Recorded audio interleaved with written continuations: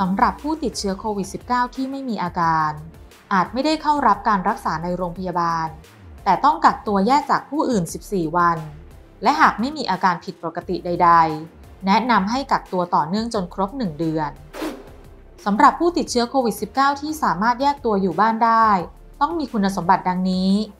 1. เป็นผู้ติดเชื้อโควิด -19 ที่ไม่มีอาการใด ๆ 2. ผู้ติดเชื้อมีอายุไม่เกิน 40 ปี 3. ผู้ติดเชื้อมีสุขภาพร่างกายแข็งแรง 4. มีผู้อยู่ร่วมที่พักอาศัยไม่เกิน 1 คน 5. ผู้ติดเชื้อไม่มีภาวะอ้วน ข้อ 6. ผู้ติดเชื้อไม่มีโรคร่วมดังต่อไปนี้